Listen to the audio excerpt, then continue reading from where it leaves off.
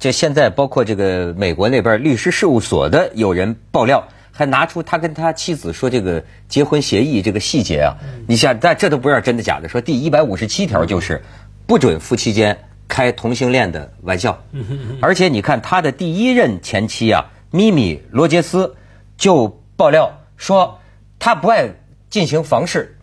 不过这个不能说明同性恋，没几个丈夫 还喜欢见房事的，是吧？现在无性婚姻很普遍，对吧？但是，哎，徐老师，最近你去欧洲，我听说呀，呃，对这个话题有有一种特别到肉的认识，是吗？我去看了那两个著名的海滩，Mykonos，就希腊有一个岛，Mykonos，米科诺维奇，米科诺维奇这个岛。这个岛里边不是你是先出了事儿了，还是先给我们看照片，还是先谈你的结论？不是，我就讲，呃呃，那个可照片也可以啊。那咱们看看照片，咱们可以看看，这是一个什么岛？哦，这个是我随便拍的，你看多漂亮！我这是欧洲画，这是也是在呃维多利亚公园，不，这个是在里斯本，这是在里斯在西班牙，哎，这不不在在葡萄牙，在葡萄牙，就这就这两他们的衣服的黄色跟绿色的搭配。这个树，你看我这个画构图好不好？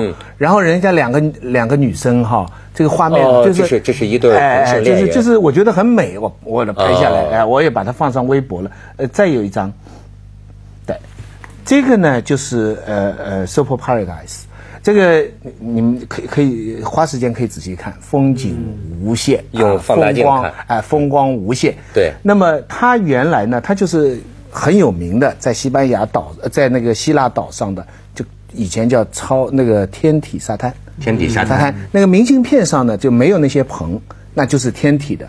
那么现在呢，其实就是以同性恋著名的。嗯，它等于在荒山上，一般去那个岛的中国游客很多，但是很少人会去的呢。那个很难去，要自己租车，然后在荒山上转啊转啊，再转到一个叫 Paradise。那转到那个地方呢？一下子一大片几千人，就很现代，也有放音乐啊，有有喝咖啡啊，然后就是男男女女睡在那边。然后我想，既然有个 paradise，我还一定要找一个超级派，又出来转，又转了很久，我几乎中间迷路，但最后又找到了，也是这么一个情况。然后我在那里睡半天呢，我就。我觉得很睡了半天，不，我自己在 自己睡了半天。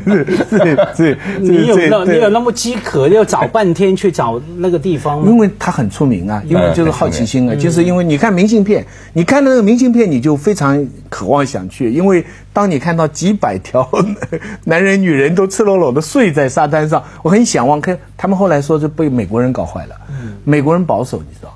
美国人呢，听到他的名声就去，然后美国人去了又不脱。美国人就过一半，知道吧？那渐渐渐他们就变成主流了。渐渐当地人现在去呢，其实全脱的人就很少了，几乎就没有了。嗯，或者说他们到傍晚的时候，他们说才有。大部分人就是就是半脱，或者甚至就也穿的比基尼这样。但是那个气氛真是非常之好。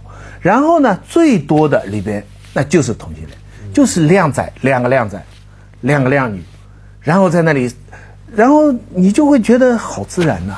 我我我。平常啊，我我说实在话，我这个政治上，我觉得同性恋根本没什么任何问题。嗯，但是 实际上朋友碰到呢，总还是带着一点异样的眼光，就好像我们刚才在全世界对汤姆·库斯这个事情还是这么看，对不对？嗯。可是，在那个阳光、沙滩、人，就是那么简单的那么一个这个人人类最基本的几个要素下面哈，你就觉得好自然呐。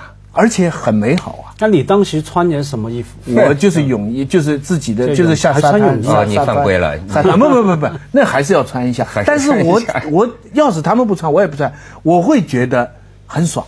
嗯，我我我偶然我注意到里边，我不知道是日本人还是韩国人，但不像中国亚洲人在那里。那这个我就观察了一下，我说他们脱不脱呢？然后那个男的就鼓动那个女的，后来还害害羞羞的，好像还是还是不脱。旁边的有些人就就欧洲人都比较还是欧洲人。那脱不脱要看什么年纪。我告诉你啊，这一点我比你进步。嗯，我二十三岁已经在海滩天体裸泳。嗯，不过不在香港，也不在欧洲，在那个马来西亚的东岸哈。因为不算什么，那我从小就这样。是啊，不，二十三岁，我是 二十三岁啊。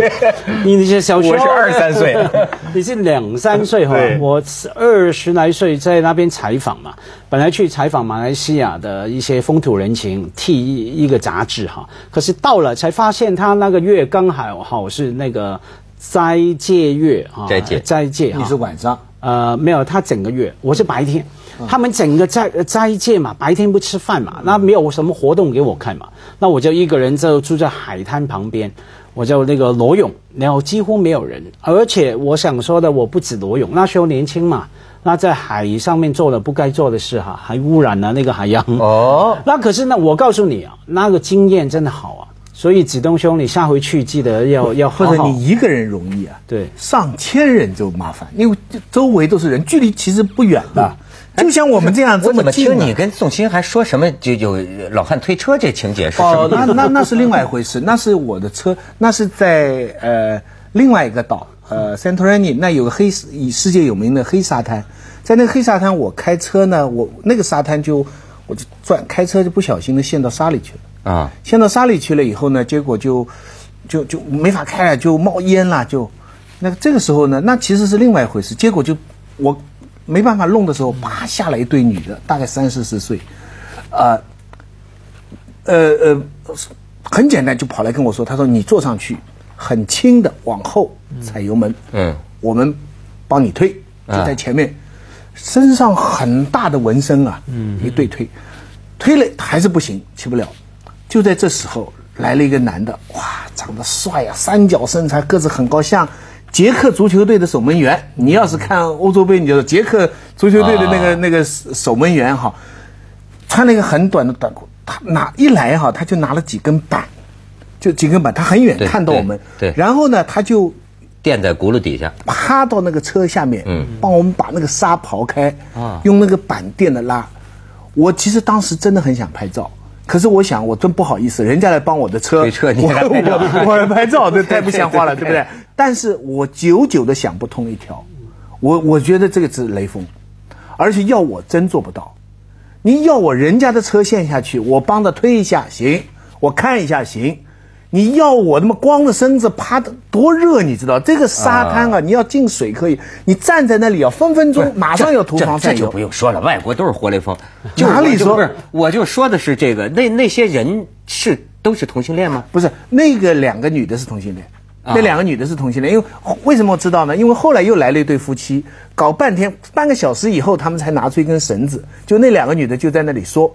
说我早就说了，你们把绳子拿出来，就是我们女的说话不管用，就是这么你们男的这不听我们女的说话，就那个性别斗争意识很强，你知道吗？我这才很清楚的，这这喂，别告诉我我我要 not man，对对对，在那里。那是很很，最后我问了他们，他们最后也搞不成嘛，我最后还是叫拖车公司嘛，因为搞不成我就问他，我最后问了，我说你哪里来？他说 London，我说我就说了，哎，问我哥说 London，我说我们要到 London，他说。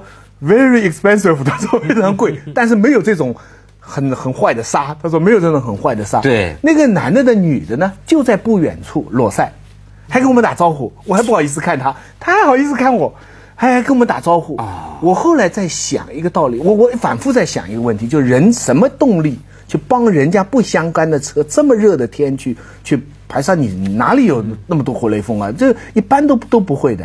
后来我想想，爱情啊。这个爱，刚才你说爱情使人性变得高尚。其实那一对女的哈，当他们在热恋当中的时候，他们一起做个好事啊，他就愿意。互相之间都很。那个男的也是，女的在那里裸晒，他在这里帮一个陌生人的车，没错，多高尚啊！你知道这事情。这就是当年那个斯巴达那支爱军呐，三百勇士全是同性恋，坚守一个山口啊，一个山口，我就全部阵亡，无一生还。